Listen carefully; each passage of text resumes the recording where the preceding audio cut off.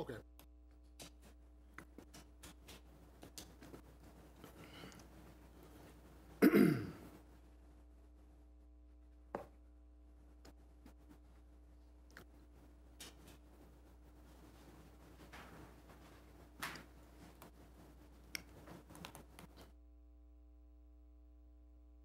I think folks are just waiting for um, Councilmember White to log back on.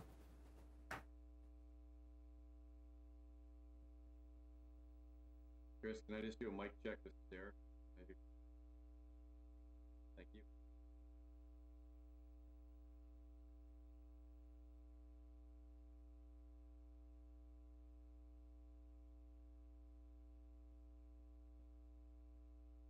Mr. Shockley, is that okay?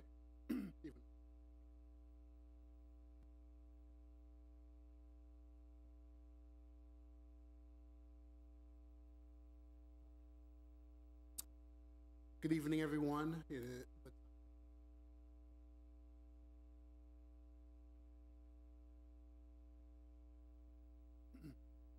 I am Mayor Jonathan Judd.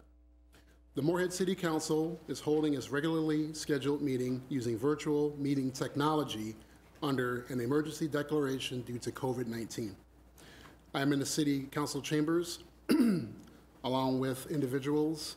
Uh, Madam uh, City Clerk, will you just give a brief overview of who's currently in the uh, chamber and who's uh, online regarding uh, staff? So in chambers, I have City Attorney John Shockley, Community Development Director Kristie Leshovsky, um, IT Director Chris Ratty, and on the phone, we have City Manager Christina Volkers, Assistant City Manager Dan Mahli, and DMI Executive Director Derek Lapointe. Thank you, Madam Clerk. Any public comment received prior to, to this meeting will be read as a part of the record during the applicable agenda item. The public may participate during the meeting by calling 218-299-5001.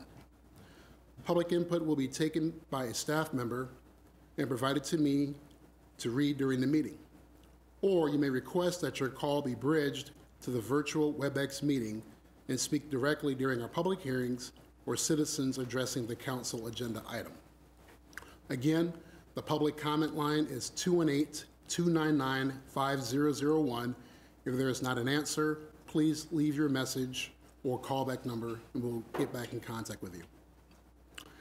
That being said, we'll call the meeting to order. And Madam Clerk, if you'll please initiate a roll call, please. My bad. Shelley Dahlquist, Here. Sarah Watson Curry, Here. Shelley Carlson, Here. Heidi Durand, Here. Deb White,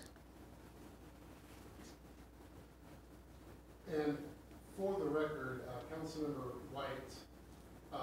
is present, uh, she was present at the beginning. We might have some difficulties. I believe, Councilmember White, are you uh, online now?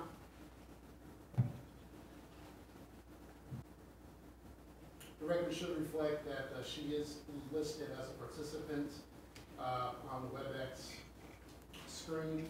However, we may have some uh, audio difficulties at, at this time. Madam.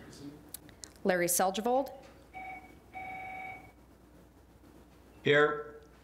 Chuck Hendrickson, Here. Steve Lindaas, Here. and Mayor Jonathan Judd. Here. And Deb White.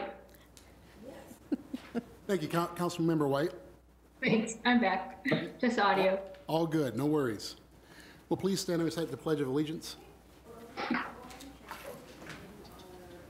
Pledge allegiance to the flag of the United States of America and to the republic for which it stands, one nation, under God, indivisible, with liberty and justice for all.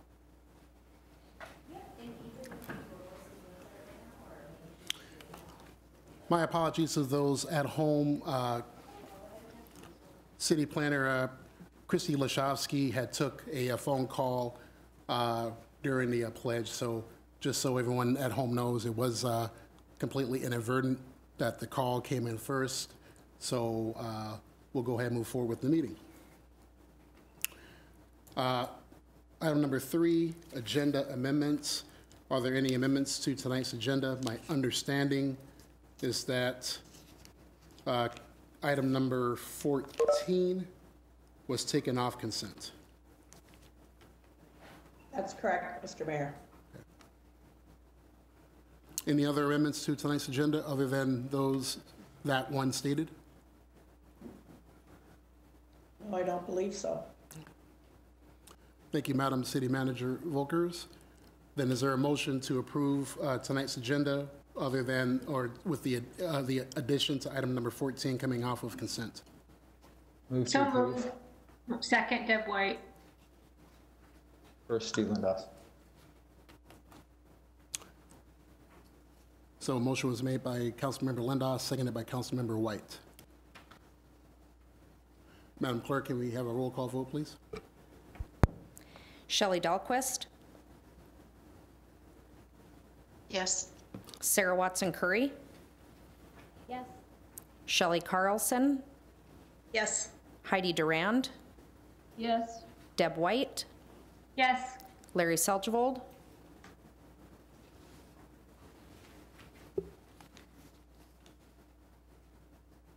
Chuck Hendrickson,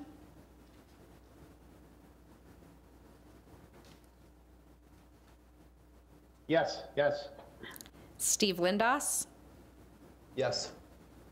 and back to Larry Seljevold.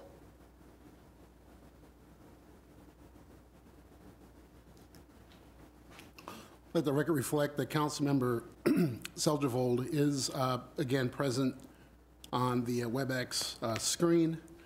Uh, We're not sure if we lost audio.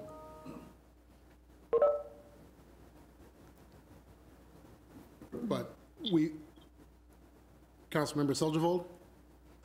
Yes. I'll take that as a vote for the motion. Yeah. Sorry. No, no worries. I wasn't sure if that was a yes to me responding or asking if you were there or, or to the motion. So motion passes.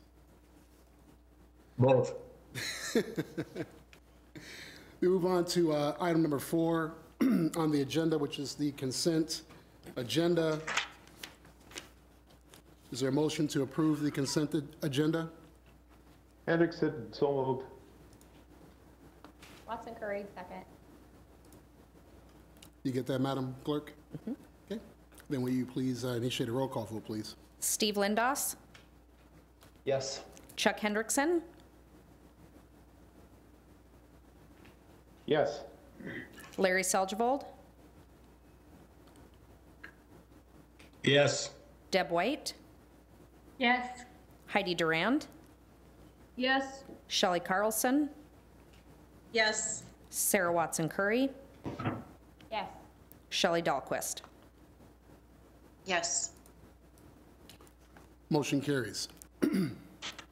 We move on to item number five on tonight's agenda, which is the approval of the minutes, 5A, the meeting minutes from March 23rd, 2020, and also uh, item 5B, the special council meeting minutes from March 27th, 2020. Any additions, corrections, edits on those minutes? Durand moves approval of both A and B. Seconds. Who was the second? Uh, The second was... Seljevold second. Okay, thank you. Madam Clerk? Sarah Watson Curry, Yes. Shelley Carlson, Yes. Heidi Durand, Yes. Deb White, Yes. Shelley Dahlquist, Yes. Larry Seljevold, Yes. Chuck Hendrickson, Yes. Steve Lindaas. Yes. Motion carries. Item number six, uh, citizens addressing the council. Uh, Madam City Planner, have we had any uh, citizens that might have called in wishing to address the council? Madam City Clerk, have we received any electronic communications for citizens that wish to address the council at this time? Not at this time. Thank you both. So it's 5:41 PM. We have to wait four minutes to uh, start the public hearings portion of our meeting. However, we could jump down to item number 14 uh, for the Public Public Works Department, which is a resolution to approve budget adjustment uh, 20-016 to purchase an air burner for wood waste. Uh, Mr. Steve Moore. Thank you, Mayor and City Council. Uh, Last City Council meeting, I had given a forestry update that included a uh, discussion on the need to purchase a air curtain air burner for our wood waste compost site. Um, And that's what I'm requesting uh, to you, the budget adjustment for, to purchase that. Half of the funding I have requested from Clay County, and they have agreed to provide half the funding uh, pending a a completed memorandum of understanding for the purchase and operation of the air burner, which I've received the draft from the city attorney's office that I'm reviewing right now. So um, I don't expect any issues uh, in being able to come up with a memorandum of understanding that's acceptable to both the city and Clay County. So we should have half of the funding for that. I'm asking for a total of $120,000. 86,000 is for the other half of the purchase, and then the other portion is to fund uh, the Title V permit, air permit that is required to operate the air curtain uh, air burner. So that's why it's a $120,000 request. Um, And with that, I'll answer. We have a couple of options for funding.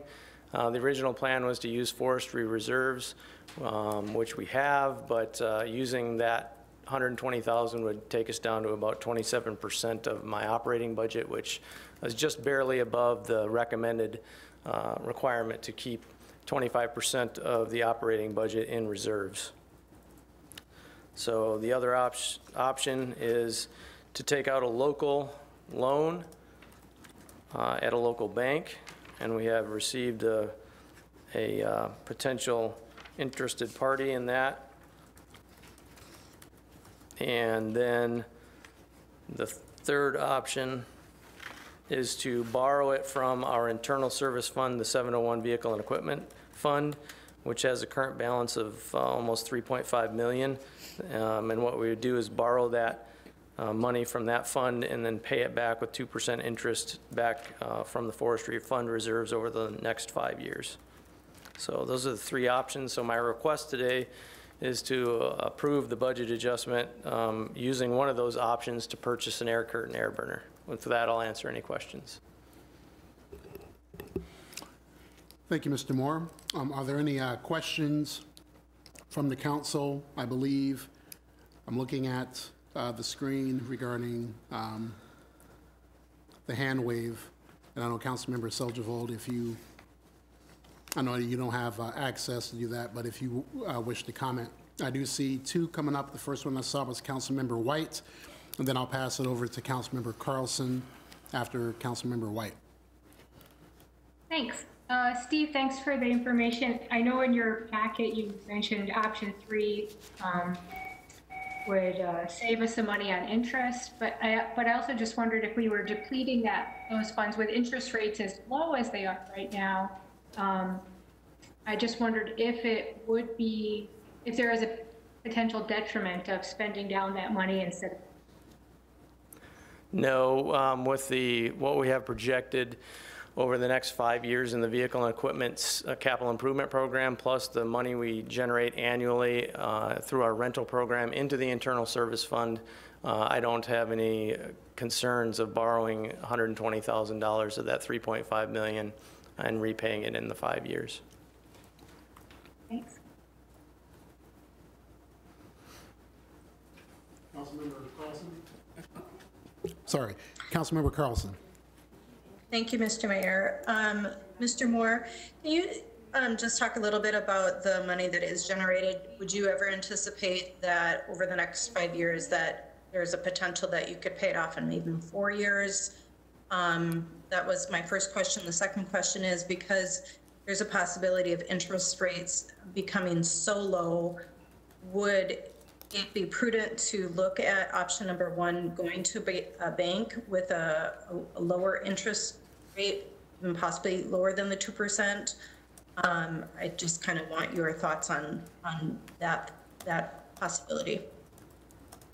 Councilmember Carlson, thanks for your questions. Um, The question of paying it off sooner, uh, most likely not, as uh, during my briefing last council uh, meeting, I do, we do have to discuss uh, increasing the forestry fees in order to build the reserves greater than they are for the emerald ash borer arrival, um, which is to be determined. So with the current, and we are still currently, our fees are under the 2011 fee rate that uh, we cut significantly in 2012 and again in 2013. And then, uh, so we, we're still below, you know, 10 year, our fees 10 years ago. So I do have concerns about um, rebuilding that cash reserve. Uh, So I don't anticipate us being able to pay it off before five years, given the needs for the operating budget and the fee structure. And your second question was, um, yes, our, our finance director has, um, is awaiting a couple of other responses on, from other local institutions. And we'll see if, if, right now, the, the one bank who has given us a, a proposal is above that 2%. And if, we'll wait for a couple more, and if any of those come in, of course, lower than 2%, then that would be the smartest course of action.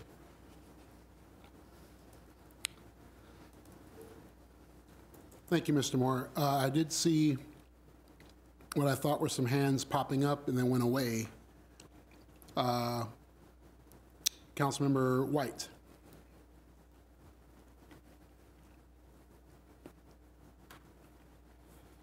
Councilmember White? Sorry about that. That's okay. Uh, Just wanted to follow up because I know we talked about the, you know, in terms of emerald ash borer and the importance of properly disposing um, of the wood. um, And so just if you could, re- you know, talk about that a little bit. So it's not a matter of, we, we need to find a way of getting rid of this because if we were to just leave these, leave the wood, wouldn't that increase the chance that, um, you know, that it could uh, you know, increase the prevalence of, of emerald ash borer in our area for not finding ways of properly disposing of this wood.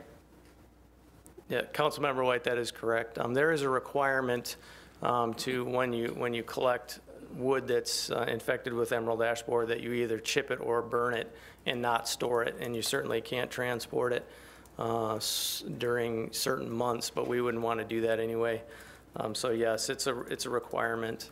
So really, this need for the air burner is twofold. One is the emerald ash borer, uh, and our increase in wood waste that we're expected from, from that. But um, we are, I'm running out of room currently uh, with the amount of wood waste I have in my compost site without a viable solution um, to that. So this is the most cost-effective solution we- we've uh, come up with.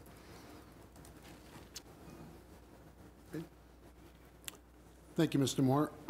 Are there any other uh, questions? Councilmember Seljevold, I see your hand. Yep, Steve. What, uh, what would the, what, how much wood would the county add to this, to the, what the tonnage that you're using or anticipate the city's going to it? And are we collecting fees from the county? Yes, uh, that's a great question, uh, Councilmember Seljevold. We are currently um, collecting wood from uh, Moorhead, City of Moorhead, as well as Clay County, as well as sometimes even outside uh, Clay, outside of the, the area. Um, And we do charge fees. We have three, three-level, three-tier fee structure, one for the Moorhead and uh, trees removed in Moorhead, and then we have another rate for Clay County, which is higher, and then the highest rate is for out-of-state or, you know, Fargo area. Um, So we do have a fee structure. And uh, additional wood waste is probably your question from Clay County. We may get some from, from flood activity. Last year, for example, um, there was some wood waste in North Moorhead, uh, right across the bridge, uh, and not in Moorhead, but um, in Clay County, and I didn't have any room to take that wood waste, so we would take some of the, the flood wood waste for the county and burn that for them, but there would be a fee associated for accepting any wood into the compost site. Thank you. Any other uh, questions for Mr. Moore?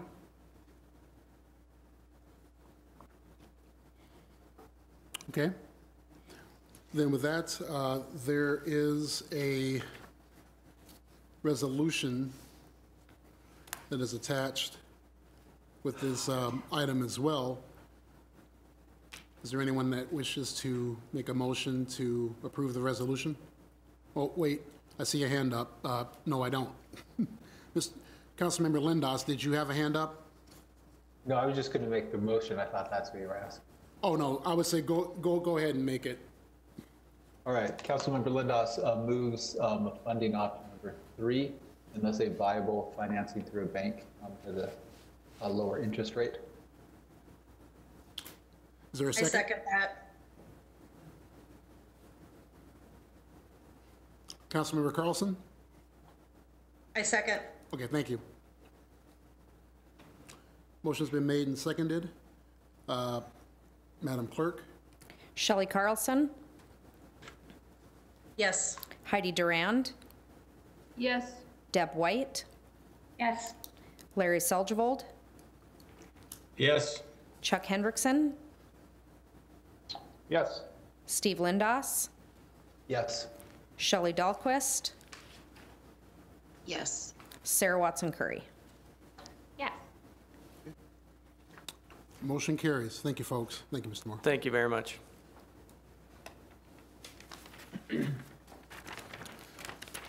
Okay, then we'll go back up to item number eight, which is a public hearing regarding the request of Kathy uh, Mayer, or Meyer, on behalf of Enclave Solutions LLC for property tax exemption for a project located at 1547 30th Avenue South. Is there a motion to take us into public hearing? So moved. Second. Hendrickson, so moved. Deb White, second. Motion made by Councilmember Hendrickson, seconded by Councilmember White. All in favor of moving into public hearing, I will defer to Madam City Clerk. Shelley Dahlquist, Yes. Sarah Watson Curry, Yes. Shelley Carlson, Yes. Heidi Durand, Yes. Deb White, Yes. Larry Seljevold, Yes. Chuck Hendrickson, Yes. Steve Lindaas. Yes. Motion carries. We are now in public hearing, and I'll pass it over to, I believe, uh, Mr. Lapointe. Are you the point person on this tonight? I am, Mr. Mayor. How are you? Pretty good, sir. How about you and your family? We're doing well. Thanks, uh, thanks for doing this. Thanks for, uh, obviously doing the things virtually here. It's, uh, a new way of life, but, uh, we still have projects and we still want to move things forward. So we do have, uh, a Mr. Tim Gleason, I believe, on the line. Uh, he's on hold with, uh, with, uh, Christie right now. Hopefully, if you have any specific questions to the project itself. Um, but this project is, um, is from Enclave Solutions LLC. They have plans to construct a almost 25,000 square foot, um, two-story commercial office building. This should be leased by one tenant. Uh, at this point in time, uh, it's Solutions Behavioral Network. It's, uh, it's a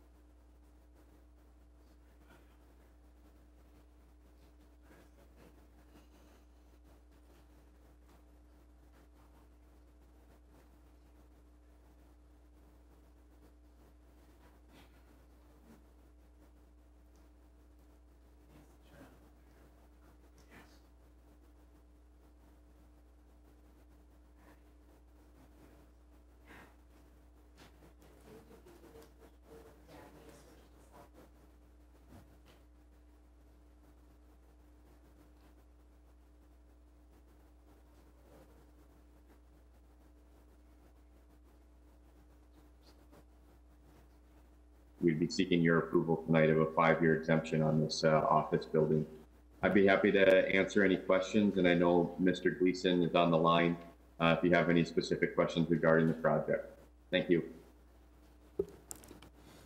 Thank you, Mr. Lapointe. Um, Any council members have any questions?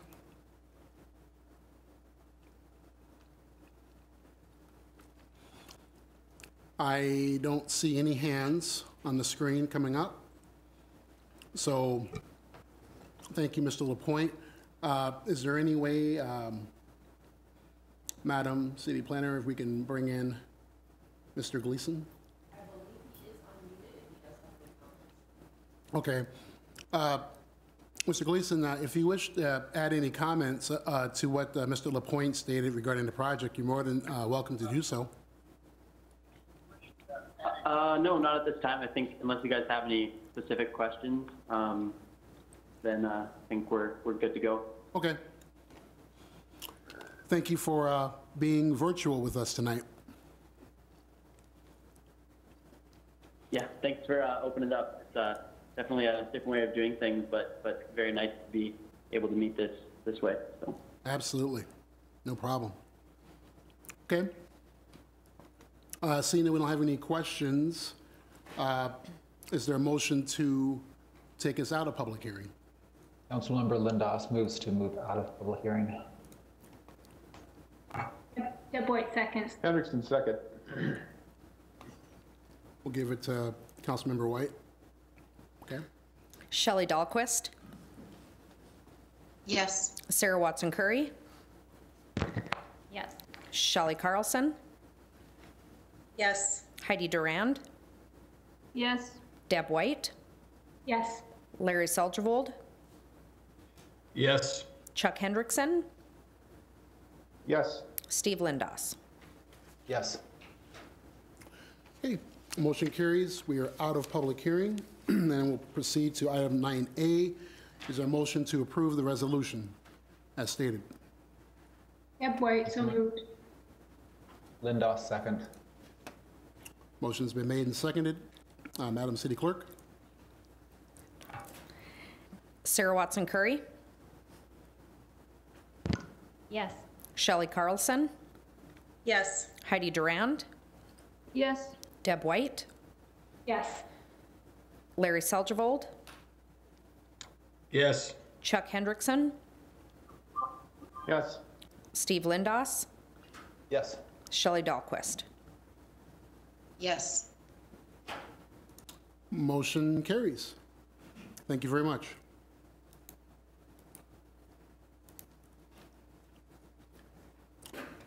Okay, then we'll move on to uh, item number nine, which is a public hearing regarding the request of Deanne Kading Powell on behalf of Rich and D Properties LLC for property tax exemption for a project located at 1601 Main Avenue Southeast. Is there a motion to take us back into public hearing? Lindaas moved to bring the public hearing. Shelley Carlson, second. Motion's been made and seconded, and I will pass it again back to Madam City Clerk. Steve Lindaas, Yes. Chuck Hendrickson, Yes. Larry Seljevold, Yes. Deb White, Yes. Heidi Durand, Yes. Shelley Carlson, Yes. Sarah Watson Curry, Yes. Shelley Dahlquist. Yes. Motion carries. We're back in public hearing. And then, uh, Mr. Lapointe, I think you're, you're back up again? Yes, thank you, Mr. Mayor. And um, again, projects uh, continue to come. This is a, a uh, project, as, uh, as you mentioned, from Deanne Kading Powell. She is uh, hopefully on the line as well if you have any specific questions for, for this project. Uh, They have plans to construct an approximately 8,000 square foot commercial building that will be leased to Wags Stay and Play, which is a pet daycare boarding and training facility, and Wags and Whiskers, which is a pet grooming facility owned by um, Ms. Powell. The facility Uh, Obviously, has an office, reception area, indoor and outdoor exercise uh, areas, uh, and uh, and obviously room for their, their training facilities. This uh, building will have about 22 full-time employees, and it will create two new full-time employees. Uh, Again, like most uh, of our, uh, like all of our commercial industrial property tax incentives, the land is still taxable, which is approximately $115,000 of the land value. The new project, the new taxable value as uh, estimated by the city assessor is about $575,000. Uh, This project, again, is looking to um, construct this summer and uh, is zoned within the right of the uh, community commercial zoning district. At this point in time, it does meet all of our considerations and requirements of the commercial industrial property tax incentive program, and we would be seeking approval of, of this project. Uh, With that, I'd be happy to answer any questions, or as I mentioned, I believe Deanne is on the call for any business-specific questions you may have. Thank you. Thank you, Mr. Lapointe. And I see that Councilmember White uh, has her hand up. Councilmember White? Great.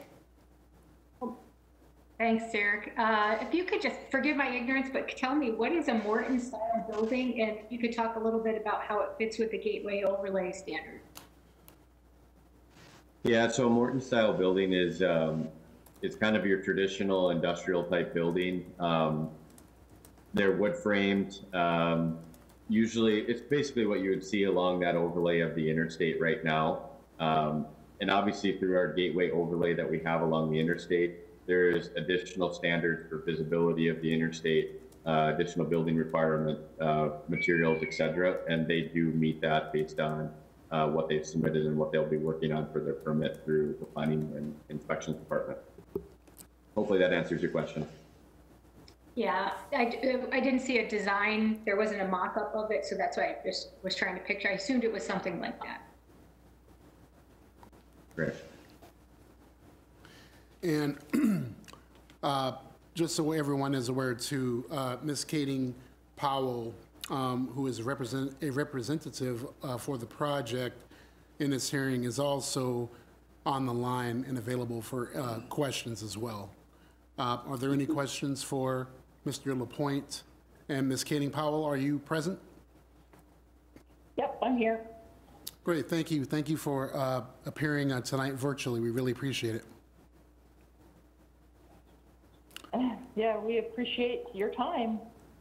And do you have any uh, comments uh, you wish to add on behalf of the project?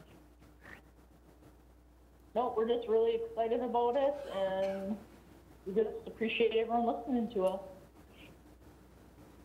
Okay, thank you. Uh, Council, does does anyone have any uh, questions or uh, comments for uh, Mr. Lapointe or Ms. Kading Powell?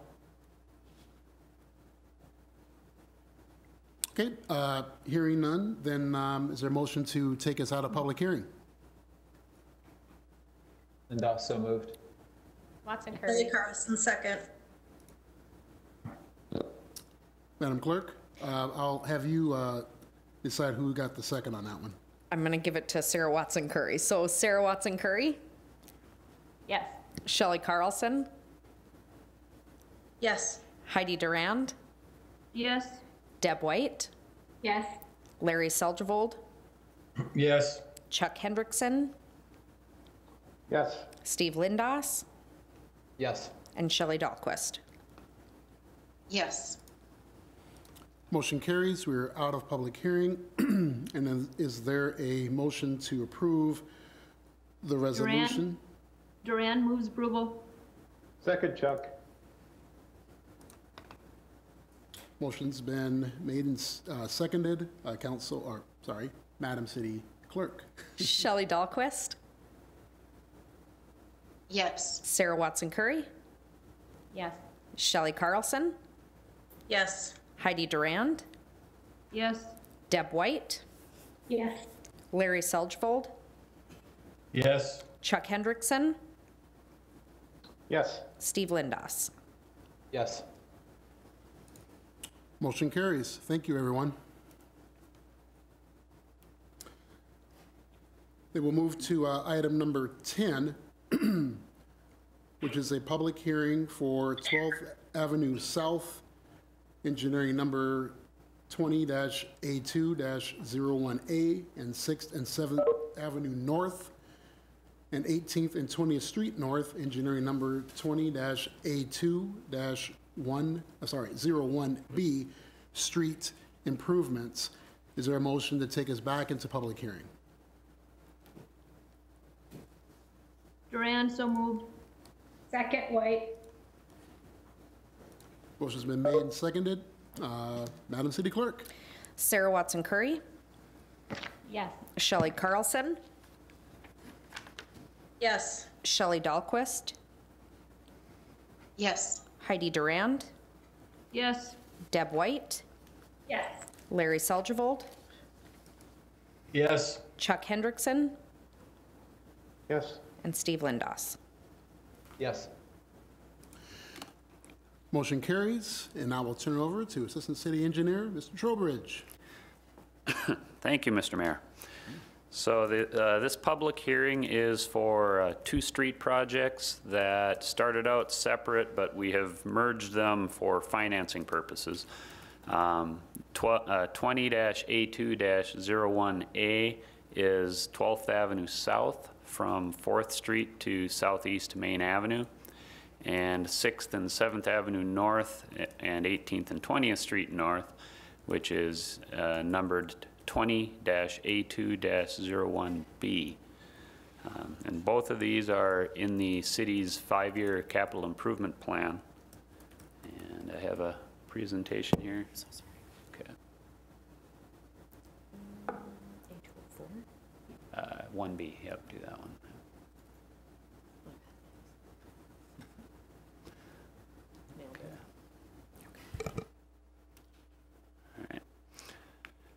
So I'll start with the project area for the A project, which is 12th Avenue South from 4th Street to Southeast Main Avenue. This project is a little more complicated than typical because it involves part of our detour route for the Southeast Main Underpass project. So we've actually structured this to be a two-year contract uh, because we can't work on that segment from 20th Street to Southeast Main because it's, it's the necessary detour route for the underpass project. And that will take all of this construction season. Uh, We're fairly confident that we'll be able to uh, uh, be working at this early next year. So for the 2020 construction, it would be a mill and overlay from 4th Street to 20th Street. And then in 2021, we would reconstruct it from 20th to Southeast Main Avenue. We would also construct improvements to the railroad crossing, which we're still working with BNSF on that part of it. That would be let as a separate contract um, in 2021. And the intent is to make that a more comfortable crossing to cross. It's pretty rough with the five tracks there. And also to make the necessary safety improvements that would allow us to apply for a quiet zone for the railroad tracks that parallel 20th Street. Uh, That is something that periodically, every year, we'll get a few calls asking, why do the trains blow their whistles?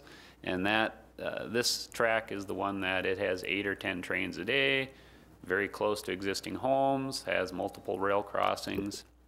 So it's a very noticeable one.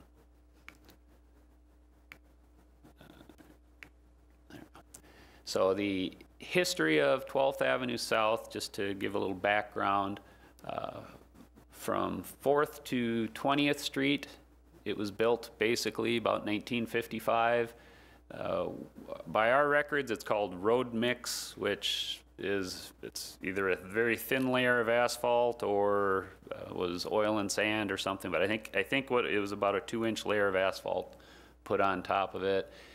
That wasn't suitable to last for very long, but they got almost 30 to 40 years out of it, and then they rehabbed it in the late 80s, early 90s. And at that time, what we typically did for this type of a roadway was called full depth asphalt. So it has about 12 inches of asphalt on top of a soil cement base. So they, they mixed in some lime into the subgrade, just right into the clay. And that kind of turns it into a clay concrete it is fairly durable, but it's still not the, it's not as good as having a gravel base. And so when we would do a road like that nowadays, we would use gravel base instead of the soil cement. However, it's, it's held up pretty well, and you can see by the PCI, the pavement condition index, that it's in the 68 to 74 range, which is suitable for a mill and overlay. And with as much pavement as is there, we know we can do that. So that's what's proposed for that segment. Uh, the piece from 20th Street to Southeast Main was built in the 1960s. Uh, that was also bituminous on soil cement base. It had less bituminous though, and what's currently there is about four inches plus probably numerous seal coats and patches by Public Works over the years. Um, and it's, in our opinion, that is, is, it's surpassed its useful life. It's in an industrial park, and so our proposal for a road like that, minor arterial, industrial park, truck traffic, we would want that to be a concrete pavement. Other existing conditions out there, it has sidewalk uh, in most areas, except there's nothing from 20th Street to Southeast Main. That's a very visible part of the city. Because there's so few rail crossings, we do get frequent requests to try to get some better PED connectivity through there, and, and that is part of this proposal. Otherwise, there's sidewalks everywhere. We'd like to improve where we have room without taking out trees. We'd like to improve to have at least one side have an eight to 10 foot wide sidewalk, so it's suitable for bicycles as well. Um, and then utilities are generally in good condition out there, uh, other than you know, manhole castings, and there's a few manholes we'd replace. Uh, Moorhead Public Service has a short stretch of water main that they would replace in advance of this project. And then uh, this being as it's a minor arterial roadway, it was eligible to get some federal planning dollars and we worked with MetroCog and we actually were able to do a corridor study in advance of the project. So we got a lot of useful public input in the process. We had two general public input meetings. We had a study review committee that included uh, uh, a member from Concordia and, uh, on it and that met various times and helped to formulate what the design of this project should be. We also had two online surveys. And then in advance of this hearing, we did mail out uh, notices to everybody in the assessment area. And we've been receiving some comments since then. The initial online survey during the corridor study had 172 responses. That was focusing on what were the issues and needs of the corridor. Pavement condition ranked high, bicycle and pedestrian connectivity was important. Trying to get some railroad crossing improvements for that crossing at 20th was also important. And the trees and streetscaping and transit were also identified through that.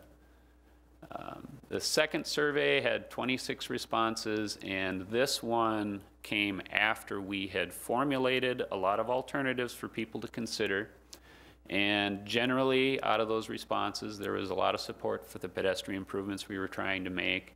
And one of the comments was if it was a choice between trying to make a wider sidewalk or preserving the mature trees, and this is specifically in that area from 11th to 19th Street, the general consensus was keep the trees and then put the bikes onto the road. And the traffic volumes are low enough that we can do that with the pavement width we have. And so that is what's proposed in this area is to have a signed shared roadway from 11th to 19th Street. And we had looked at, uh, the general public comment had said just do bike lanes, but before doing that, we know, we know that that's an area that there's on-street parking currently.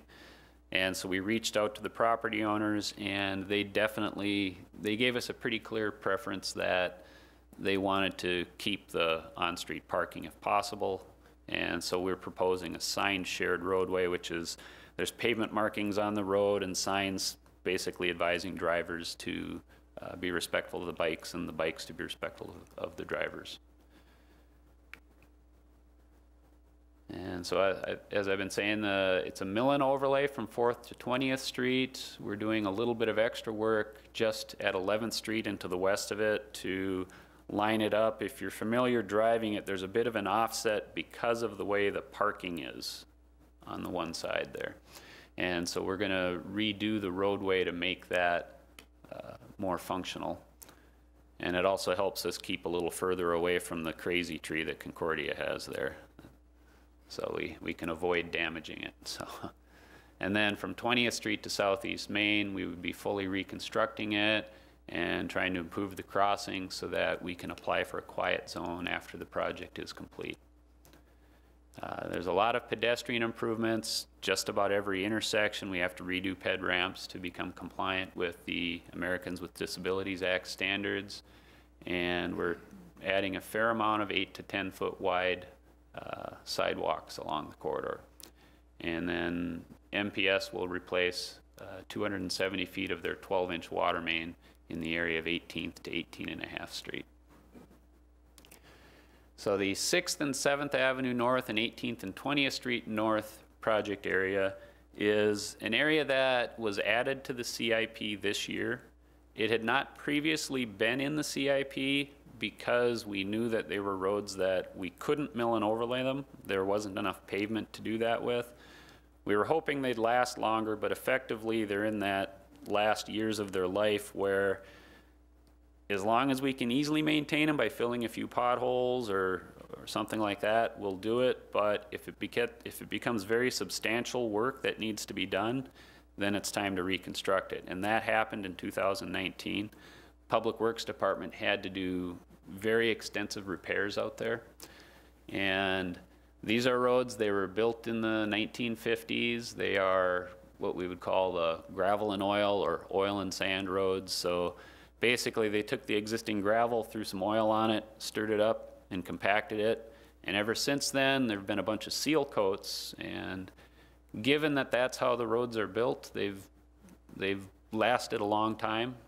and so I would say that uh, we've done a very good job maintaining them up to this point. Uh, there's also some drainage is- issues out there that's typical in Moorhead. We've got very little elevation to play with, and so the curb grades are always pretty flat. And after 50 or 60 years, it's not unusual to have some issues with that. So in this case, there are sidewalks out there on at least one side of the road, most of the places, and we did send out a letter to solicit some input on whether or not we should consider adding some sidewalks, and it was uh, pretty overwhelming that they did not want additional sidewalks added out there. Uh, The utilities are, the sewers are in good condition. If there's any sanitary sewer repairs, typically what we would do with the older clay tile pipe is we would line it, which can be done without digging up the street. So they've got a liner you can insert down the pipe and you effectively you blow it up and it cures in place. And so it, when we do a road project, we don't have to replace the sewer uh, for that. Uh, the water mains are different because of uh, the way the services have to be, you have to dig those up to reconnect them. So there's usually a lot more water main work uh, that requires street patching. And so in this case, we've worked with Moorhead Public Service and they will replace the cast iron water mains in advance of our construction contract. So in this case, we're going to propose complete removal and replacement of the pavement and the curb and gutter. The curb is tipping quite a bit, so even though maybe it doesn't look as bad a condition, it doesn't meet standards for ADA, and it shows that it, it just, it doesn't have the support, so we need to remove the curb, get the gravel where it needs to be, and then pour a brand-new curb and gutter. The benefit of doing that is it also helps us address, when this project is done, it will have much better drainage than it has had for a while. And then in doing this, we'll replace the storm sewer leads to make them line up with the curb and gutter that we're putting in. Uh, But otherwise, there aren't really, it's just very minimal utility improvements that are proposed, other than the Moorhead Public Service water main. So we had a design informational meeting uh, on February 27th for this North Moorhead project. Generally, it was questions about what happens during construction, how do I have access to my home, uh, things like that. And uh, there's always discussion about how special assessments will work. Um, And then we solicited some additional feedback specifically on sidewalks, and uh, most of the property owners did not want new sidewalks, so that was deleted from the project prior to going to bid. And then we sent out a mailed notice on April 2nd. And as of April 8th, I think we had six phone calls with eight pretty generic questions about it. And there were, uh, in this case, the assessment area has 49 properties, so we sent out 49 letters for this one. For the 12th Avenue project, there were over a thousand letters that got sent out. And on that one, we've received nine phone calls with questions and six emails. And out of the six emails, three were just general questions, weren't opposing the project, and the other three were opposing it, mostly due to timing. One of them was concerned about possible con- conflicting with the underpass project, and then the others were more just delay the project because of the number of assessments that, that they've got, and they're concerned about cost with the economics and the COVID-19. So for these projects, uh, the 12th Avenue project, as I said, has mill and overlay from 4th to 20th Street. So, that, so those properties that directly front on 12th and have access to it have a $30 per front foot assessment. And then all properties that are within the assessment area, uh, which extends both north and south for several blocks, gets a $500 assessment in addition to any uh, front footage that they might have had. And then from, uh, uh, from 20th Street to Southeast Main, the properties get that $500 per equivalent lot assessment plus $105 per foot if they directly front and have access to. And I think that was only one property that had direct access to 12th Avenue and got the $105 per front foot assessment. And then the properties in North Moorhead, those were all reconstructs, so they would all get the $105 per front foot assessment. There's no area-wide assessment for them because they don't have a collector or arterial roadway assessment.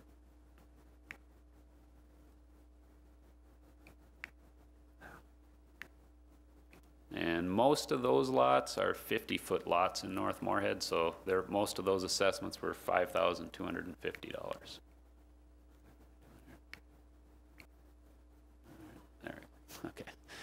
Okay, so this map shows the uh, assessment area for 12th Avenue South. And so this would be the 15th slide in the presentation. And so it identifies where it's road reconstruction versus mill and overlay, and then you can see a dashed boundary that shows we're generally assessing from 6th Avenue South down to 16th Avenue South, parallel to the length of the improvements. And so for 12th Avenue South, as I said, there is over a thousand mailings. There's a thousand eighteen properties that were in that total assessment area and get the $500 assessment. Out of those 1,018 properties, 54 of them also get a front footage assessment.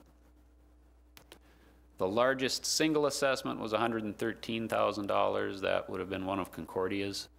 Uh, on average, the assessment was $1,275.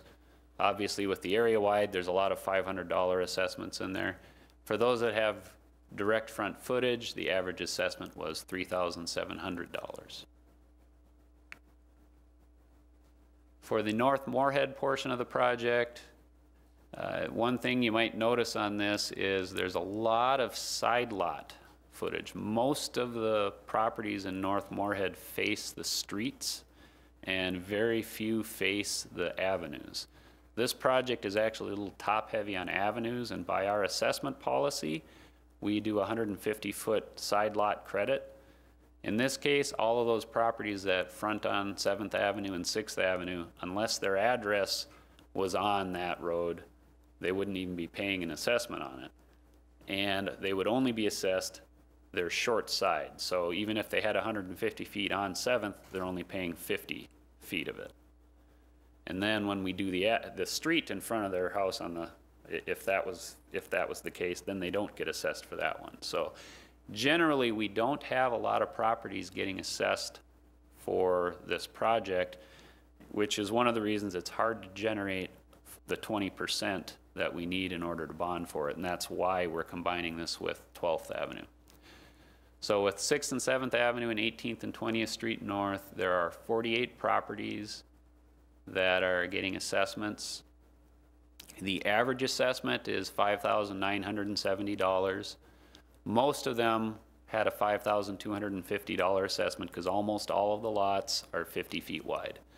There were, think there's two of them that happened to be double lots, and so they had 100 feet of frontage, and that's why the maximum assessments were $10,500.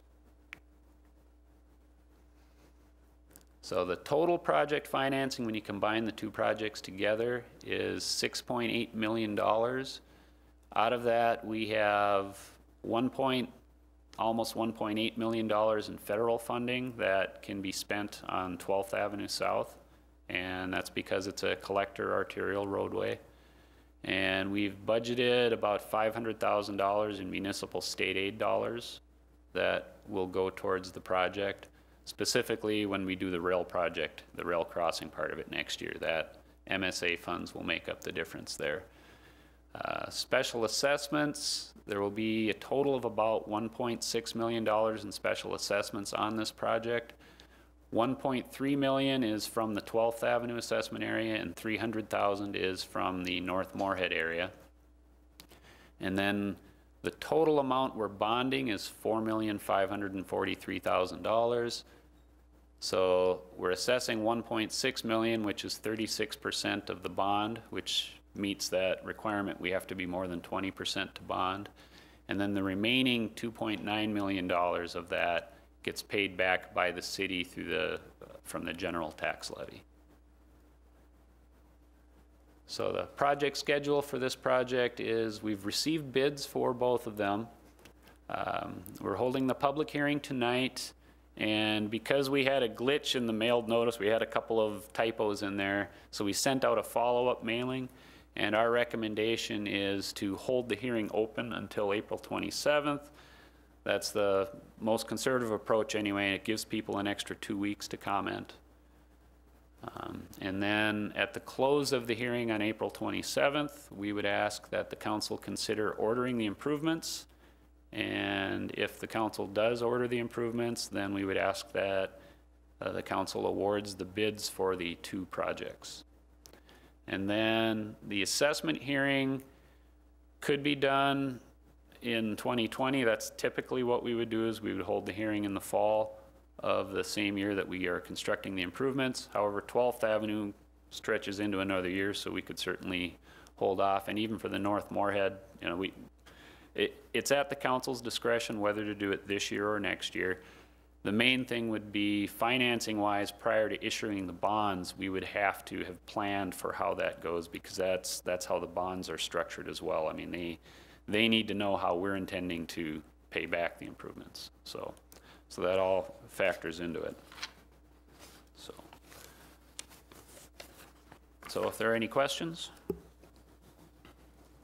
Yes, uh, Councilmember Watson Curry had her hand up, and then Councilmember Carlson uh, will follow up. So Councilmember Watson Curry, I'll turn it over to you.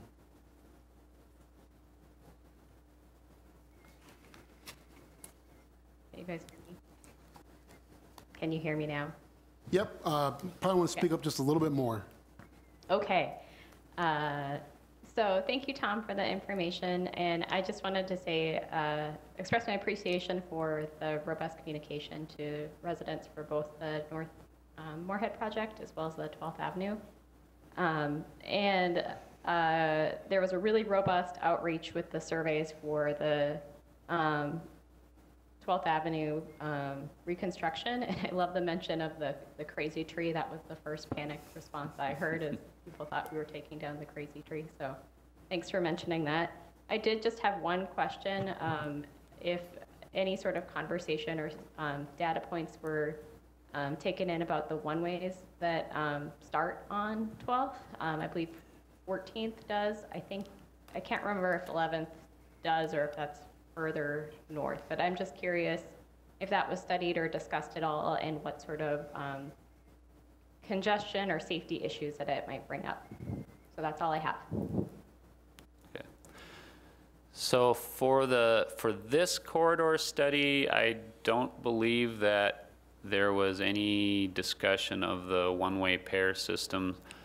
I do know that subject has come up and been studied under other, at other times, and like, for example, with the uh, 11th Street underpass, it's been looked at as part of that, and if there's ever a change to be made, that would be more likely the vehicle that it would happen under, but yeah, this corridor study did not get into that. Uh, Then I'll pass over to Councilmember Carlson and then Councilmember Dahlquist. Thank you, Mr. Mayor. Um, Mr. Trowbridge, um, first of all, thank you for allowing extra time for the public to provide comment. I know with um, the virtual meetings and having to call in and email, um, the process is a little bit unique and different, and, and I appreciate you giving time, additional time to the citizens. Um, I know that one of the questions that came up was um, about possibly delaying these projects. And I'm wondering if you could just speak to how does that um, affect the five-year plan that's been developed since this has been in the works since 2015, I believe? Um, How does that affect the bidding process and having to synchronize all of the work being done with the city, all the work being done with MPS? Um, I'm just trying to understand what are the residual effects of if this doesn't get approved, if you could kind of speak to that.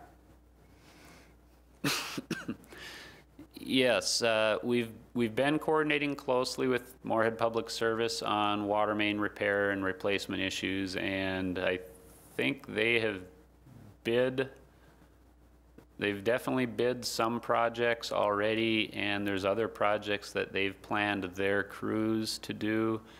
And so making a change at this point would, would really mess up their schedule.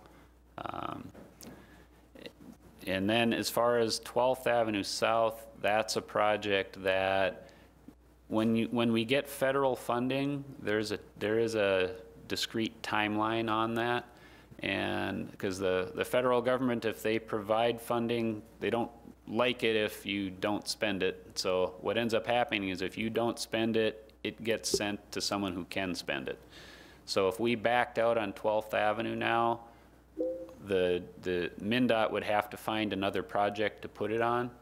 And that would, that would be difficult to do, but we wouldn't, it, we wouldn't have a project that we could put it on. So it would go to another city and we'd have to reapply. I don't know when we'd get the funding. So it, it, there's a significant risk if we don't proceed with 12th Avenue for that. And then with the North Moorhead project, that's one that we've done quite a bit of coordination with Moorhead Public Service. And on top of that, it's creating, if we don't do that project, it will affect the Public Works budget because they will have more and more ongoing repairs as they try to keep that road uh, passable for the public. Thank you, Mr. Trowbridge. Um, and then, Mr. Trowbridge, can you just respond, um, as to if the federal funds are, are not accessed or utilized for this project, how frequently do those opportunities come around? And then do we get dinged later on if we were awarded these funds and then turn those funds back in?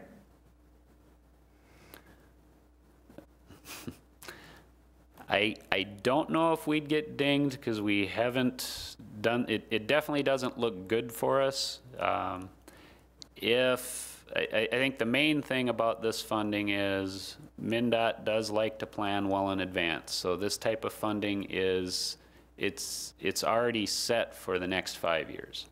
So basically, if we passed on this funding now and we wanted to use federal funding for 12th Avenue South, it's probably five years before we would have a shot at it again. And, um, and, and, and it's, it might take longer. Typically, we're able to get some funding for a federal, federal aid project every two or three years. Um, The other, uh, the other risk you run is you never, you're never sure of how much funding that will be over time. It's, it's possible that the federal government and MnDOT may make changes on how the program is administered too. So we just never know. Okay, and then you had said that the, um, there were uh, letters or contacts made with 1,019 properties that were affected, and there were really just three opposing emails that were sent to you, is that correct? Correct.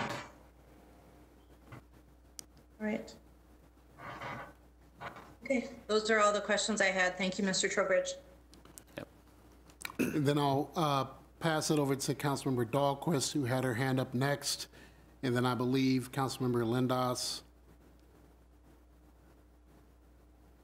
Thank you, Mayor, and thank you, Mr. Trowbridge. I really appreciate uh, the presentation, and I uh, also appreciate the extension in time. And then I just had one question about um, there, the possibility of different uh, interest rates. Um, And I also appreciate that we can um, make the assessments later. That extension is great, and I think the people that are being assessed appreciate that also. So if you could just tell me about the um, variability of the interest rates. Okay, so I think your question is regarding the notice that went out. We put in an estimate of what the assessments would be and also included a, a theoretical interest rate for what the assessment would be. And at this point, we don't know what that number is. We put in a number that is a little bit on the high side just to try to be safe. Uh, because that's the last thing we want to do is tell somebody something and then we get to the end of the project and we give them a higher number. So we, we're trying to be conservative at this point. The interest rate that is used on the special assessment gets adopted at the time the assessment roll is adopted, and it is based on the rate of the GO bond plus typically about one and a half percent. And the extra that the city puts on it has to do with when we structure the bond, we have to pay back the bond over a specific time frame. We've also issued the funds, or we've, we've, we've been using the funds and incurring interest for a period of time before we assess the project as well.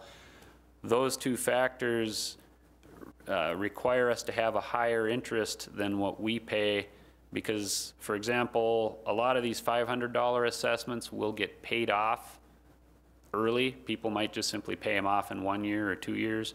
And we're still paying it off over time with interest. And so that additional interest rate, the higher rate that we charge, is a financing tool that, that makes that work for us. It's, it's part of the planning.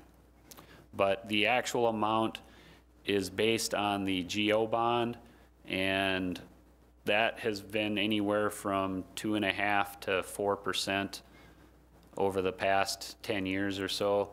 Given the current economic situation, it's likely to be lower than that, but I, I really don't know until we, we bid out the general obligation bond.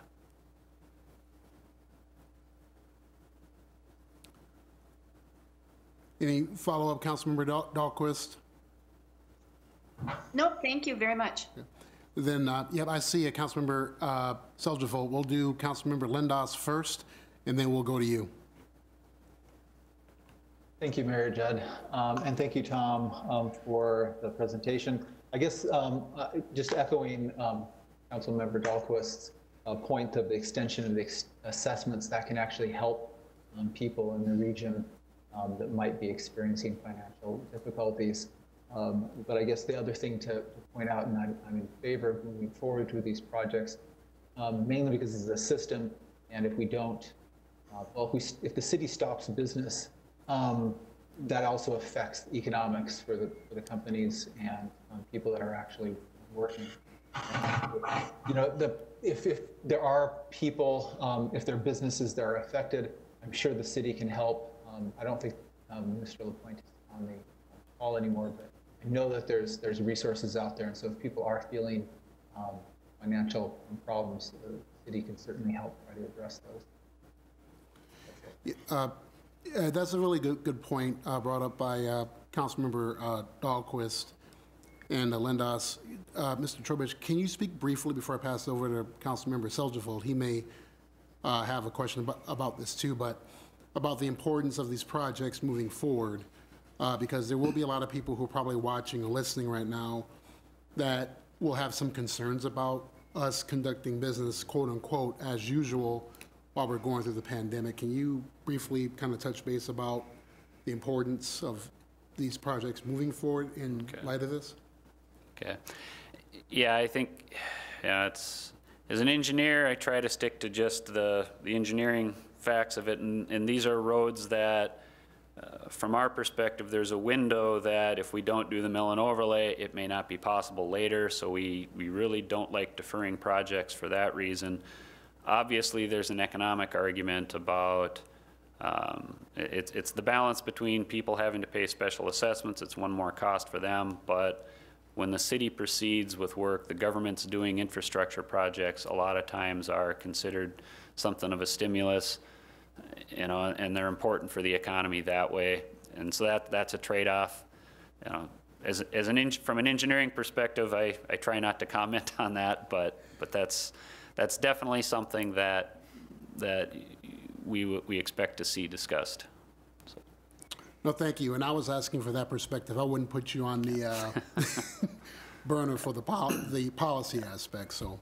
Uh, Councilmember Lindaas, I'm sorry, uh, Seljevold, sorry. Thank you, Mr. Trowbridge. I'm looking at the uh, sidewalk improvement map on the north side. And uh, then reading all the, reading all the material that went with uh, the guidelines if you di- didn't have sidewalks in existing areas and so on. I, one is I'm a little bit surprised because there was not going to be any cost, uh, that these people turned it down. And then when you say letters were sent out, are these people whose property will have sidewalks on them? Or is, was it the whole project area who received the questionnaire? So when we send that letter out, we send it out specifically to the blocks that we're proposing to put the sidewalk on. So we, if there's blocks that already have all the sidewalks, we don't, we don't include them. And to be as friendly as possible, we also will, will review the comments on a block-by-block basis. So if one block supports it, but a couple of others don't, the block that supports it can get the sidewalk. And likewise, we don't make other blocks get it if they've clearly indicated that they don't want it. Typically, there's two reasons that people don't want the sidewalk put in. One, obvious, snow removal. Uh, People don't like to have to shovel the snow. And uh, the other reason is, in a lot of these, it's, it's common on these corner lots, is that a lot of times their garage faces the corner lot and setbacks are different for a side lot, they're shorter. So what ends up happening is if we put in a sidewalk, it's hard to find a spot where you can put it where they could still park in their driveway. So lost off-street parking tends to be a concern as well. So, so uh, in the, in the material I got, it said that if, if the developer said there was going to be sidewalks in there and they never got around to doing it, there should be a sidewalk there. Is that the possibility in this neighborhood that uh, the builders in their plans just never got around to putting in a sidewalk? So that part of the policy addresses uh, uh, or, uh, areas that have developers agreements. That's something the city has actually only had since about 1990. Uh, So that the modern subdivisions have developers agreements that spell out exactly where sidewalks go. The older part of town, um, more often than not, the areas built before 1950 have sidewalks. The areas between 1950 and 1980 are really a hodgepodge. Some of them have some, some of them have none, some of them have one side. And, and that's where, when we do these projects, we, we try to uh, make things better that way, get more connectivity to it uh, within the context of the neighborhood. So this is a neighborhood that there never was a developer's agreement with a specific plan saying there will be sidewalks in these areas. So, Thank you. Councilmember uh, Carlson, I'm not sure if that's a new hand or the hand from the last time. Sorry, Mr. Mayor, I forgot to take my hand down. No, no, that's okay. I just didn't want to make sure that I uh, didn't confuse it. Uh, Dr. Z wishes to uh, approach. This is uh, City Engineer Dr. Bob Zimmerman. I just wanted to, thanks, Mayor. I just wanted to back up to the previous question about whether we should be doing these projects or not. The, what we've heard from contractors is they want work. I think the bids that we've received show that they want work. Uh, as, as we discussed last time, there's a lot of steps the city council needs to go through to, to move these projects to construction. And if we don't do it now, we can't pick it up in July or August and have a project. If we don't have projects, contractors don't have work, and their employees don't have work. So there's good economic reason to proceed.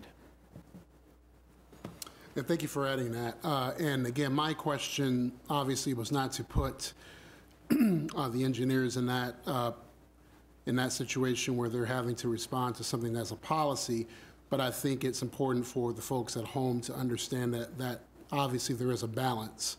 Um, I will say, having uh, jogged and biked along 12th Avenue South, especially in that area where the industrial park is between Southeast Main and uh, 20th Street, it is a complete, I mean, it's just not safe.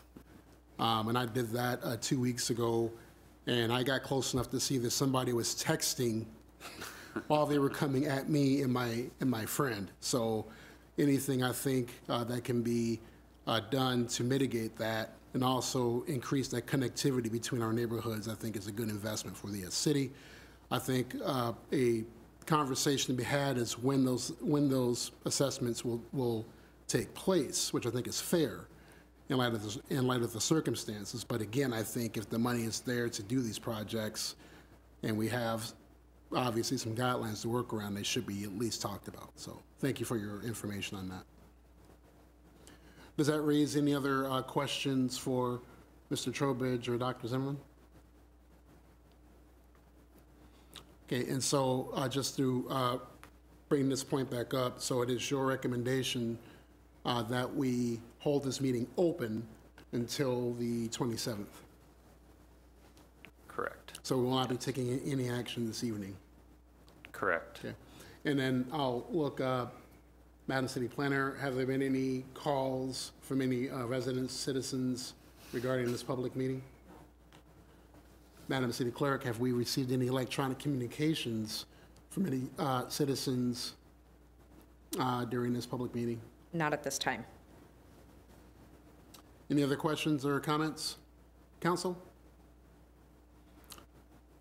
Seeing, hearing none, then I'll ask for a motion to take us out of public uh, hearing. So moved, Councilmember Lindaas. Councilmember Second, Lindahl. Dahlquist. Do we want them to, we're holding it open. Oh, I'm Are we sorry. Holding it open. My, my apologies, creature of habit. So, okay, so we will Yeah, not, we will I leave this withdraw my open. motion. I thank you. Thank you. Thank you, Mr. Trowbridge. Okay. And then uh, we'll, then, then uh, parliamentarian, so this is now open, then, then I will introduce the other public hearing. Okay. So now uh, we'll move on to item number 11, which is a public hearing for the 14th Street South engineering number 20-A2-03 and 18th and 18th and a half Street South, engineering number 20-A2-04, street improvements. Is there a motion to go into open, I'm sorry, to a public hearing? Deb White, so moved. Second, Chuck. Motion been made and seconded. Uh, Madam City Clerk? Shelley Dahlquist, Yes. Sarah Watson Curry, Yes. Shelley Carlson, Yes. Heidi Durand, Yes. Deb White, Yes. Larry Seljevold, Yes. Chuck Hendrickson, Yes. Steve Lindaas. Yes. Motion carries, and we are in public hearing regarding item number 11. Mr. Trowbridge? Okay. All right, so these are two projects that were bundled together for one contract. Uh, They're uh, 14th Street and then 18th and 18th and a half Street. Uh, All of them are from 9th to 12th Avenue South. Uh, We bundled them together due to their uh, close proximity, similar type of work, so it'll be easier to manage uh, for us. Uh, 14th Street was initially looked at separately just because it's one of our collector streets. And, uh, but uh, again, it's still mill and overlay type work, so good, good project to combine with the other one. So the project area is shown on slide two. And as I said, it's uh, mill and overlay work is what's proposed. The boundaries are from 9th Avenue South to 12th Avenue South. Um, One thing you might notice is that each of these streets is within the area of the area-wide assessment for 12th Avenue South, which is one of the reasons we wanted to hold the hearing tonight, because that way everybody got notices and they don't have to try to call two separate meetings. They can come to just the one or, or comment on the one. So, I don't know if the clicker's not working. Oh, there, okay. All right, so in this area, the streets were constructed generally between 1955 and 1962. It's bituminous pavement on either aggregate or soil cement base.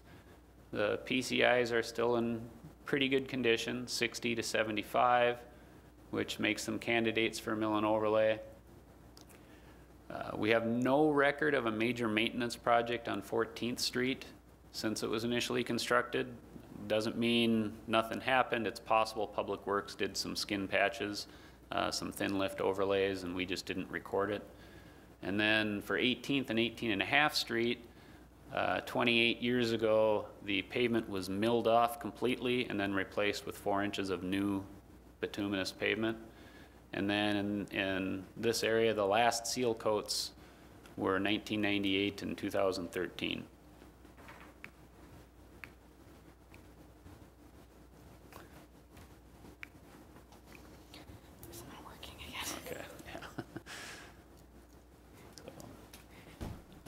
And then the sidewalks are on both sides of the street, except on the east side of the Grace United Methodist Church, which fronts on 18th Street. They do have a sidewalk uh, all the way on 17th Street, though. And then the utilities that are out there, the sanitary sewer, it's the clay tile pipe, but it's in good enough condition now. There's nothing that it needs it to be dug up to fix. At some future date, we expect the, if, if any work needs to be done, the wastewater department can line it, and, and that doesn't affect the pavement. The water main on 14th Street is PVC, replaced over two different projects in 1991 and then more recently in 2014, the last part of it. The water mains on 18th and 18 and a half Street are both six-inch cast iron water main, and Moorhead Public Service has indicated that they want to replace those. Uh, Some of the structures out there for the catch basins, which is what the water goes into in the storm sewer, are brick and are in poor condition, so we will replace those with precast structures. The roadway improvements, we're proposing a two-inch mill and overlay with patching at intersections. Uh, That's largely necessary to uh, make things ADA compatible, because there's, the, the road is actually steeper, the normal crown of the road is steeper than what ADA would want, and so we'll, we'll make those improvements. We'll do, we'll replace ped ramps to be uh, compliant with ADA. Otherwise, no sidewalk work is proposed other than we'd fix trippers and things like that. Uh, Utilities out there, the, the- we'll replace some of the storm sewer catch basins and leads. And then the sewer castings will be replaced, and then Mord Public Service is going to replace the water mains on 18th and 18 and a half Street. We had a preliminary design information meeting with the, with the residents out there on February 27th. Generally, it was just concerns about how construction would impact them, um, and then what the assessments would be like. We did meet separately, specifically with Grace United, to talk about the sidewalk, and they said that they did not want the sidewalk to be extended down 18th Street. And then we mailed out a public hearing notice on April 2nd. Uh, Between the two project areas combined, that was 137 mailed notices that were sent out. And out of that, we've received, we actually didn't receive any phone calls, and we've just had the one email. And that person is opposing the project. Mainly, they really were complaining about the time, the timing of it, and their concern about the economics of doing an assessed project at this time. So for this project, 14th Street is a collector street, so by the policy, it gets assessed to a, a wider area.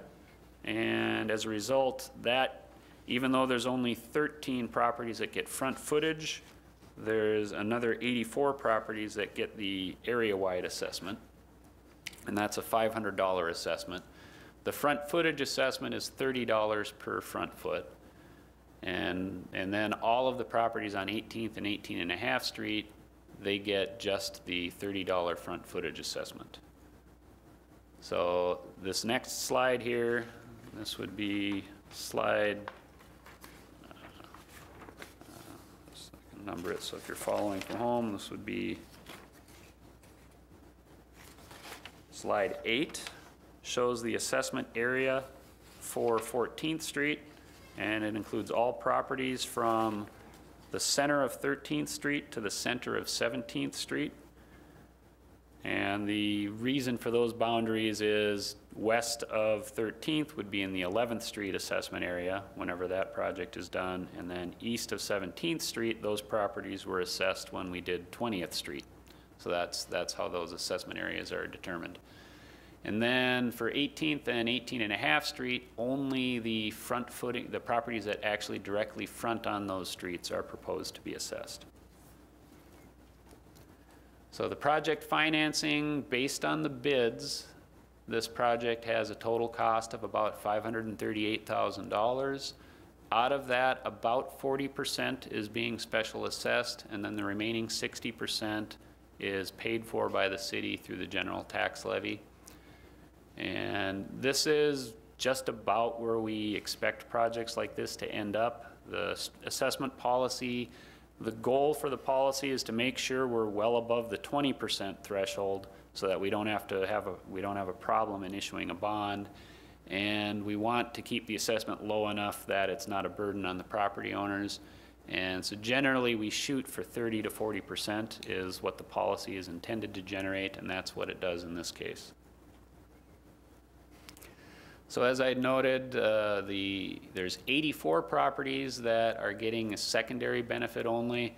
And I apologize if this is a little confusing. I did these two presentations and I didn't make them completely the same, the way this slide is presented. In this case, 84 properties only get the $500 assessment. There's actually 97, I think, that get that, but 13 of those are also getting primary benefit. So uh, if there's any confusion, I apologize for that. There's a total of 137 properties. Out of that, 53 get a front footage assessment, and only, and 84 of them are only getting the secondary of $500. So uh, the project schedule, uh, this was, uh, we've been working towards this since January when the uh, capital improvement plan was adopted. We received bids on April 1st, and the bids came in well. We're holding the hearing tonight. And for this project, since the hearing, we didn't have any issues with the hearing notice that went out, uh, we were planning on having the council consider uh, ordering the improvements and awarding the bids after closing the hearing tonight. And then this project would get constructed this summer, and under normal procedures, we'd hold the hearing this fall. And that's something that, uh, you know, if the council had a concern about that, we can explore with the finance director, uh, you know, how it would work if we wanted to have an alternate timeline for that. So, so that would be the close of my presentation, so if you have any questions. Okay, uh, Thank you again, Mr. Trowbridge. Uh, Councilmember Hendrickson, I see your hand is up. Thank you, Mr. Mayor. Couple questions for you, Tom. These, the PVC pipes, how long do those usually last? So, so you, the VCP is the vitrified, vitrified clay pipe. And so that's typical of sanitary sewer installed before about 1970. And the pipe itself is actually very, very good. It lasts a long time. The real problem with it usually comes from the initial installation. Well, there's, there's two problems you get. There's a lot more joints, usually every three feet, which are, the enemy of joints is tree roots because the sewers always have water in them and the trees like the water, so the roots grow into the joints and cause problems. And otherwise, at the time it's installed, sometimes it, it can be a brittle pipe and it can be cracked at that time, but it's remarkable how long pipe can be cracked and nothing happens to it. Um, it can, you can get some infiltration and inflow in those sewers as well. Um, but it's very, very simple to line those pipes with a liner that makes a seamless pipe, uh, adds extra strength to it. And so that's typically what we do. But this pipe, if you don't dig down and work next to it, it could last 100 or more years. Uh, if it was poorly installed to begin with, it could crack and collapse. You, you just don't know. PVC should last, you know, 75, 100 years without any concerns. And unless there's something unusual about the sewage, it shouldn't affect it. And this is normal domestic sewage in this area. So PVC should last a long time. With the water mains, the cast iron, uh, when they replace that with PVC again, they expect that to last 75, 100 years. And you stole my question, Tom. I was gonna ask if it was a cast iron. So it's good we're, we're getting rid of that in that area. And, um, one more question for you. Grace United, did they give you a reason why they didn't want that sidewalk expanded? I wasn't at the meeting. Again, I would assume in this case it had more to do with, it, was a maintenance issue and with the way their building was, they had plenty of off-street parking. People used their parking lot. I, I think they looked at it as for the for the cost of maintenance versus the benefit they had from it. They they just even though we weren't going to assess them to have it, they would have an ongoing maintenance cost. And I would I would assume that's the case but I wasn't in on that meeting. I just know that they said they, they would just assume that we did not put the sidewalk in there. Okay, thank you, thank you for the presentations, Tom, very good. And, uh, thanks for your time. Are there any uh, further uh, questions or comments? Okay. Uh, Madam City Planner, have we had any phone calls regarding this matter? Okay. Thank you. Uh, Madam City Clerk? Done at this time. Uh, I do want to note, uh, just so the record can reflect, uh, in advance to uh, this public uh, hearing, the council did receive, I believe, two emails regarding this engineering project for this public hearing. I'm not sure if, uh, Mr. City Attorney, if, uh, having that we did receive these emails uh, from individual residents, uh, how do we make a record? Do we just make a record of who sent them? Do we have to read them into as a part of the public hearing record? How do we do that? So under the ordinance that uh, the council had adopted regarding the public hearings, uh, we're giving the public the maximum opportunity to provide the comments. So you'd have somebody from the city uh, read who sent the comments. Um, You could either summarize them or read them verbatim. It's up to the person reading them. If That's what we did the last hearing. We had the, the engineer summarize them along with the response to them, which is appropriate. He notes who made, who made the comment, where their address is, and then summarize the comments. And then the email is available if anybody wants verbatim. Okay. So, Mr. Trowbridge, would you feel comfortable doing Yes. that? Okay, thank you. Okay, yep. And so, I, and I believe the two emails, there, there was, uh, there was some email exchange back and forth. It was one resident, I believe, specific to this project, and that was, uh, Mr. Kukowski. Um, He owns a property that he manages there, an apartment property that is affected by the special assessment. And his email, his first concern really that he raised was with the process, the public hearing process, that with the COVID-19 going on, it wasn't open and that he was concerned about opportunity. We explained the policy, how that works, and I, I think he understood that anyway with his opportunities to comment. And, uh, and then, then specific to the project, he didn't raise any issues really with whether the project was necessary. His primary issue that he wrote, uh, that he raised was this wasn't the time to do it due to economic concerns, uh, people's ability to pay the special assessment. And so he had a strong recommendation that the project should be delayed at least one year. So basically he said one or more years. And, you know, and he had some other comments just generally regarding uh, taxes and, and assessments in general. He was, he raised issue with the, uh, the interest that we had listed in the notice. We, we had a 5.25% interest that we listed in there. And I explained that, you know, that's just a ballpark number. It's actually not you know, the, the actual interest gets set at the time the assessment is adopted, and it will be based on the actual general obligation bond. And at this time, we just don't know what that would be, although we acknowledge that it probably will be lower than that 5.25% that we'd put in there.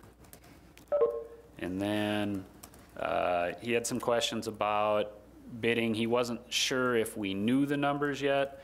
And of course, even now, it's still an estimate, even though we have received the bids, it's still an estimate because there's a possibility of change orders. Our estimate includes what we think are the likely project costs, and we certainly hope it's possible the project could come in lower. We certainly hope it wouldn't go in any higher, but we've got some numbers that we factor into that. And um, so he was, he wasn't, he was wondering whether the timing we received the bids was good or not, and we figure any time between February and May is a good time to receive bids. And so this, we, we think the bids, based on the review, the bids were good, and we're very confident that, uh, that we got good bids for it, and it was, uh, you know, a, a, a well-designed project that way. And then he had some concerns generally just about trust because he's, he's watching the underpass project and is concerned how that relates to this. And our answer on that is it's, it's, they're very different projects. These road projects are very simple. Uh, You know, we're very confident that any issues we've had on the underpass project won't appear on this one. So the projects will get done on time. Uh, They should be on budget. Uh, There really aren't surprises, because again, we've received the bids, so we, we know what, what we have at this point. And, and then he had, and I think it was just some questions on what was being proposed, and we answered those. And I, I didn't see any follow-up questions, so I think he understands what we're proposing to do. And he didn't seem to raise any objections to what was being done. Primarily, he's just urging that we delay the projects for economic reasons. Uh, Thank you for that summation. Uh, Councilmember Seljevold, did you have any uh, questions or anything to add? Okay, I just want to make sure, uh, because of the hand, uh, the the lack of the hand uh, icon. Uh, Council member, okay, and yours just went away. All right, I just want to make sure I'm not missing anybody. Um, Okay, and then uh, it's, again, just looking at your presentation, it's your uh, request and tonight, uh, our city staff, that uh, we consider the resolution unlike the last Yes. public hearing. Yes. Okay, just want to make sure. Uh, Does that bring about any other questions or comments from council? Seeing, hearing none, then uh, we'll have a motion to uh, close the public hearing on this item. So moved, Deb White. Linda, second. Motion's been made and seconded. Uh, Madam City Clerk? Steve Lindaas, Yes. Chuck Hendrickson, Yes. Larry Seljevold, Yes. Deb White, Yes. Heidi Durand, Yes. Shelley Carlson, Yes. Sarah Watson Curry, Yes. Shelley Dahlquist. Yes. Motion carries. We are out of public hearing. And then uh, there's 11A and B for resolutions. Is there a motion to, I move to approve both. Watson Curry, second. and just to make sure, Mr. City Attorney, we can do both of these at the same time? Correct. This is for item A and B. Madam City Clerk, you have the motion and the second. Can you just repeat who first? Who I gave the believe it first was and second? Councilmember White first. Councilmember Watson Curry with the second. Thank you. Hmm? Shelley Dahlquist, Yes. Sarah Watson Curry, Yes. Shelley Carlson, Yes. Heidi Durand, Yes. Steve Lindaas, Yes. Larry Seljevold, Yes. Chuck Hendrickson, Yes. and Deb White. Yes. Motion uh, carries. And uh, I'm not sure, and I'll, pa- uh, Mr. City Attorney, uh, before we go on to the next item, I just want to make sure, I just made a note here that we did receive one uh, email item in regards to the public hearing, uh, item number 10. Uh, Would it be appropriate to get a summation of that email at this time, or can we wait till, because that one's open until the 27th? We can wait till the 27th for that one. Okay, just let the record reflect, we did receive uh, an email, and I apologize to everyone, uh, that there was an email that came in from uh, Mr. Beckeris regarding the item on the agenda for the public hearing with the engineering number 220-A2-01A, which is uh, marked as number 10 on tonight's agenda, but we will bring that up again on the 27th. And again, that email is available to the public and the response, if anyone, if anyone wishes to read it prior to the next hearing. Then with that, we'll move to, I believe, item number 19, which are mayor and council reports. Are there any uh, reports that the uh, council member wishes to make this evening? I see Councilmember White. We'll let you go first, and then Councilmember Carlson thereafter. I just wanted to um, thank our, one of our staff members, Christina Rust, for the work she's doing on putting together some plans and uh, timeline and uh, for how we do council, or how we do appointments to boards and commissions. And so a few of us were able to sit in on a meeting this week and with other city staff and sort of flesh out some of those ideas so we can have a, a clearer, more efficient process for picking people for our boards and commissions. So I wanted to put that out there and thank her for her work. Thank you. And then uh, Councilmember uh, Carlson. Thank you, Mr. Mayor. Um, I just have some news from the Moorhead Public Library. Um, starting this week, uh, the Moorhead Public Library is going to start no contact curbside service to Moorhead Library customers. Um, and what this um, the reason that they're offering this service is based on the statement issued by the Minnesota Department of Education that based on a review of Executive Order 20.20 MDE has determined that public library services may be deemed essential during the COVID-19 pandemic and within the library's ability to provide for social distancing and the regular disinfecting and sanitation of library materials and to follow Minnesota Department of Health and Centers for Disease Control, Health and Safety protocols. It may remain open to provide distance, online, digital, virtual services, and no contact curbside pickup of materials. So again, starting this week, they're going to be able to do that. They'll sanitize items, bag them up, and drop them on the hood of the customer's car in the parking lot. Um, this does not mean that customers will be allowed into the buildings, but it does mean that you are able to check out things. Um, also, if you did not want to do that, they are still issuing library cards and they're actually um, issued over 160 new library cards um, since the whole COVID-19 has started. And what that library card allows you to do is access ebooks and e-audio collections. Also, the library has signed up for a contract with Hoopla, which is like a Netflix for libraries. So again, this is going to be really helpful and beneficial um, for Moorhead citizens and other individuals who get a library card. Um, you're going to be able to download ebooks, e-audiobooks, movies, comic books, and music. And this is going to be starting next week for the Hoopla. Again, that's like a Netflix for libraries. Um, also, good news is that the library or the Lake Agassiz Regional Library purchased, um, received a grant to purchase $7,400 in Wi-Fi hotspots um, so that customers can utilize that. And this program will run for three months. And um, once the library gets the hotspots, they will start setting them up. So just to be on the lookout that that will start in the next few weeks. Lastly, what I want to highlight is that the library staff has added a new hotline service. And again, I think this is very important um, that library staff around the region are able to answer reference and account questions from the safety of your own home.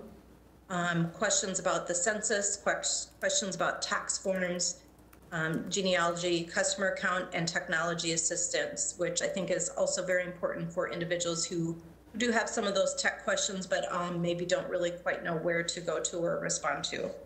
Um, and then speaking of tech, I just wanted to give a shout out to um, Christopher Ratty, who is our IT development or IT director for the city of Moorhead, who I'm sure has been working an incredible amount of overtime and having to really step up him and his staff. And I know that he's down a staff member in his department.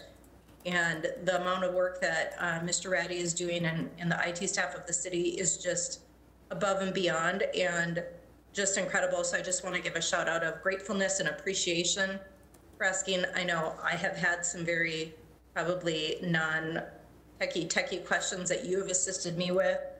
Um, and to continually provide that with the patience and kindness and and uh, and never questioning our abilities, even though I'm sure you do inside. Uh, I just wanted to really say thank you. That's, That's uh, all, Mr. Mayor. Thank you. No problem, thank you, and that's, uh, that shout out's definitely duly noted uh, for uh, Chris Ratty and the uh, IT staff. Thank you for bringing that up. Uh, Councilmember Durand. Uh, Yes, thank you, Mr. Mayor.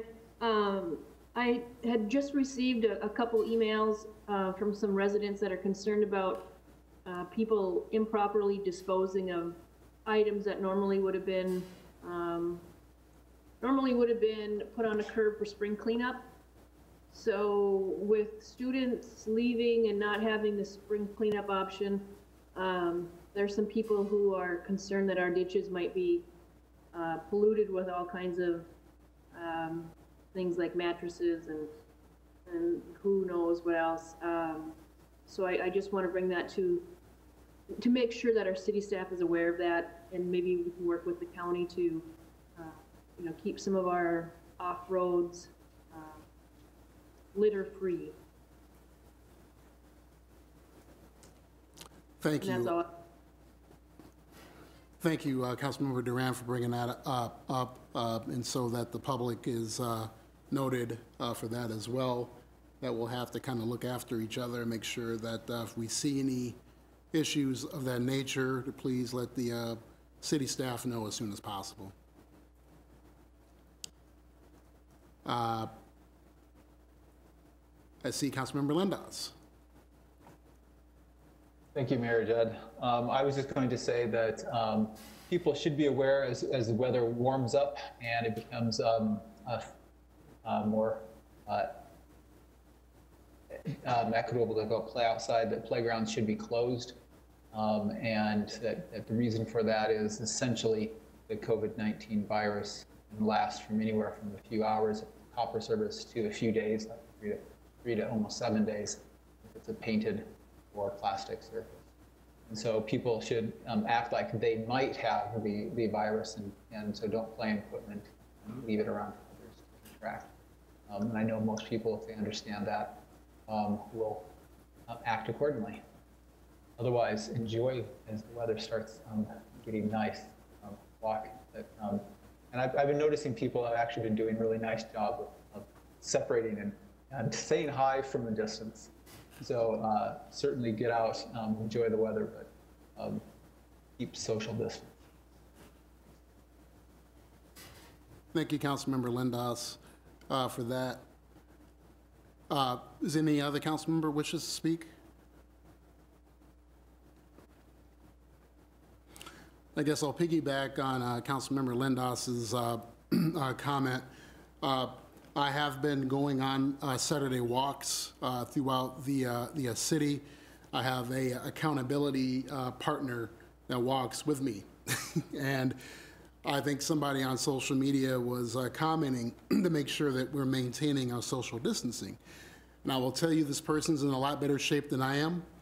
And uh, he walks, he's taller than I am and has longer strides than I am. And I think he has me by 60 to 80 feet. So just know that if you see me walking in your neighborhood with a few people, there's good, there is appropriate social distancing in place just by the physical nature of our stature. So uh, we'll keep on doing that uh, every Saturday. So you might see me walking around. Feel free to come out the door and say hello from a distance, and I'll say hello back. Uh, also, with that, uh, I wanted to send a, uh, special shout out uh, to Senator Amy Klobuchar um, and her staff, as well as our city staff, our city manager, Christina Volkers, Downtown Moorhead Inc., Derek LaPointe, Executive Director. We had a phone call uh, last week where uh, she gave an update on the federal uh, legislation that has been coming down. I know that uh, uh, Derek LaPointe has been uh, talking with Minnesota DEED and also economic development experts out of St. Paul for a, uh call virtually every morning, giving an update on what's going on in St. Paul and how that's going to help us in greater Minnesota. So kudos to him for doing that. Also for uh, uh, City Manager Volkers, also helping uh, to have help me develop the asks for Senator Klobuchar as what we need from a public health perspective, but also from an economic development and recovery standpoint. And so there's a lot that we were able to share with Senator Amy and her staff uh, that uh, she and her staff made uh, many notes on uh, because obviously with the dynamics that we have, not only being a city in greater Minnesota, but also being a border city, uh, we have certain dynamics that are different than most cities. So uh, thanks to her for spending all the time uh, uh, listening to us uh, make our asks, and also hopefully with the intent that she'll do what she can in DC, along with our Minnesota contingent, to make those things happen. So again, shout out to a lot of folks in that area. Uh, Also, shout outs to the mayors of Dilworth, Glyndon, Barnesville, and Hawley. Uh, We checked in with each other uh, last Friday afternoon, had a really, really good conversation. Uh, Check in to see how we're doing in Moorhead, but also a check in to make sure uh, to see that things are going well in those jurisdictions as well, uh, and making sure that uh, people are being, you know, taken care of, and also making sure that if there's any gaps that we need to fill uh, as a region, but also things that we need to uh, communicate to Governor Walz, as well as uh, the legislature, and also for uh, Senator Amy in DC and Senator Smith. Uh, It was good to check in with those folks and make sure things are going well with uh, the residents as well as the businesses in those areas. And I think, looking at that, make sure I'm not missing anybody or anything. Oh, one other thing I will say, uh, so every uh, Monday, uh, we have city and county representatives meeting on a task force, and this is the Community COVID-19 Task Force with our public health partners, uh, with Sanford and Essentia, along with our uh, education uh, folks from the public schools districts throughout the region. And just so folks know that, uh, you know, we're, we, the public health uh, folks are still in planning right now for a surge in uh, COVID-19 positive tests. Uh, I want to give a shout out to those folks at Sanford and Essentia for being really in the know, watching, reading, and listening to what's going on with the trends. Uh, I think it's probably fair to say that, uh, you know, if you're looking at, based on what they're following right now, we might be looking at a surge that might go into the best case scenario, June. Uh, Worst case scenario for our region, maybe July. So I want to send a shout out to those folks for keeping us all educated and in the know about what's going on. But also kudos to all the residents. Uh, through my long walks that I've been taking around town, I've only seen one particular concern. There were a group of youth playing basketball um, over by the, uh, uh, is it a town? Uh, it's right on the tip of my tongue, but I can't think of it. Town Site Center. Yes. I saw them too. Yes, you saw him too. Thank you, Councilmember White. So again, uh, we're just urging folks, please, please, please, stay away from the parks. I know it was a nice day here a few days ago. Please stay away from the parks, off the equipment. And again, we're asking for those neighborhood parents to come out and uh, call those kids out and get them away from there so we can, uh, uh, again, flatten that curve. So other than that, that's all that I have. And I will pass it over to Madam City Manager Christina Volkers. Thank you, Mr. Mayor. I do have two ish, two things to report on. The first is, um, per council policies, um, if the city wants to give away something or reduce the cost of something, I am allowed the authority to approve that, but I do need to report to the council at the next council meeting. So one thing I do want to report on is the census update. We've been working really hard um, getting everybody to fill out their census, and we're doing pretty good, actually. We're at about 50% of our citizens who have filled out the census, so that's good. We need to get to 100%. That does help with all kinds of things, um, federal and state funding being um, one of the most important things. So we encourage everybody to fill out their census that they live in Moorhead. But um, one of the ways that we're, um, you know, kind of playing for for competition to get people to do that, to fill out their census, is that we've got a census ward challenge going on, and I've authorized an additional three golf passes as incentives to the people who are working on this very important initiative, um, which who knows when the golf courses are going to open, but assuming they open soon, um, this is not a, a, a gift or a, a, prize that I've authorized. So I just wanted to report on that to the council. So that's number one. The second thing is I wanted to give you a really um, high level financial outlook because I'm beginning to get concerned, as you all are, about the economic downturn that's that's coming due to COVID-19. I want to kind of give you a snapshot of where, where the city is at right now. This is going to change and it will could change by the day. But for right now, I want to give you a um, snapshot of our financial outlook. As you know, the general fund requires a fund balance of at least 40% and up to 60. We do try to strive for 60% in our fund balance. Um, if and we are a little below 60 or we're at the year end 2019 Um, we could go down to 40. If we go down to 40, there is a policy that says that we must, um, um, we must have a plan to bring it up to 60 again over a period of time. But right now, we're a little bit before, or a little bit less than 60, could go down to 40. I wanted to report if we were going to do that, we could use up to $6 million in reserves if we had to in an emergency before we go triggering, um, you know, our bond rating and everything else if we have a plan to go up. So that, that's an important number to keep in mind. Um, property tax revenue reductions would require also the use of reserves. If we just estimated a fifteen percent, which is what my colleagues are talking about statewide and nationwide, possible fifteen percent reduction in overall collections of property taxes, that is a two point three million dollar number.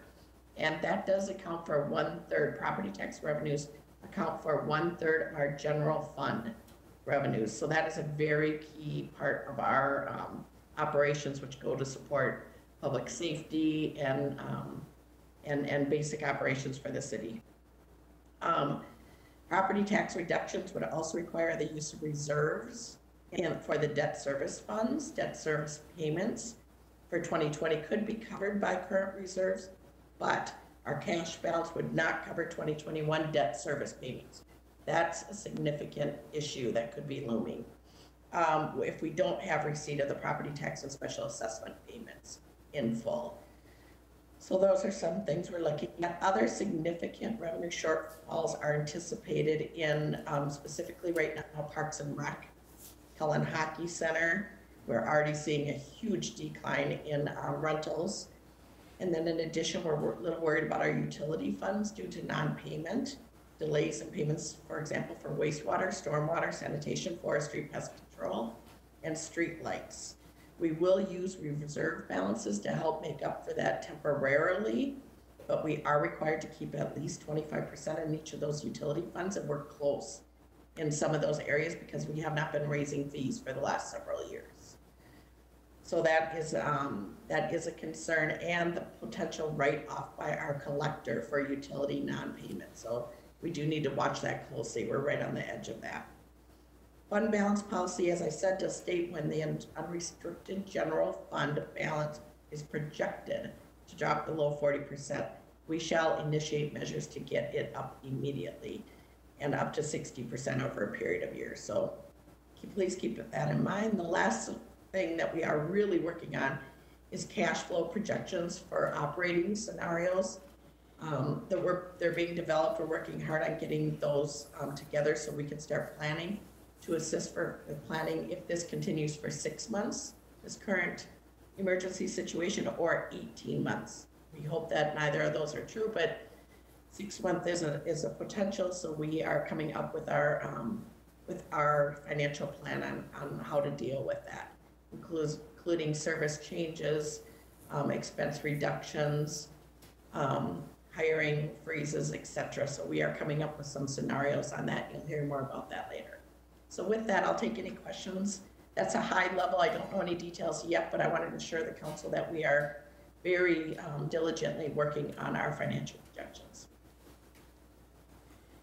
Thank you uh, for that uh, report, uh, Madam City Manager, and, uh, and it's good for us to know that information because I know that the current uh, environment not only affects uh, businesses, but it does affect municipalities, families, and everyone equally. So, I mean, we have to be on, on top of that. So thank you for that.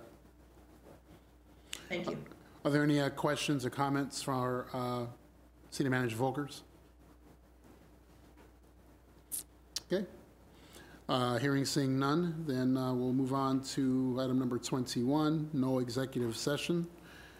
Item 22, no new business. And then uh, for item number 23, I will uh, ask, I have not received any communication myself. Um, Madam City Planner, have we had any communication uh, call-ins regarding citizens wishing to address the council? Madam City Clerk, any electronic communications on your end? None at this time. Okay. And uh, seeing none, then we'll entertain a motion to adjourn the meeting. So moved, Deb White. Second, Dahlquist. And we are adjourned. Thank you, everyone, for attending, and good night, Bye, Maureen. everybody. Have a good night. Y'all take care. Stay Stay safe. safe.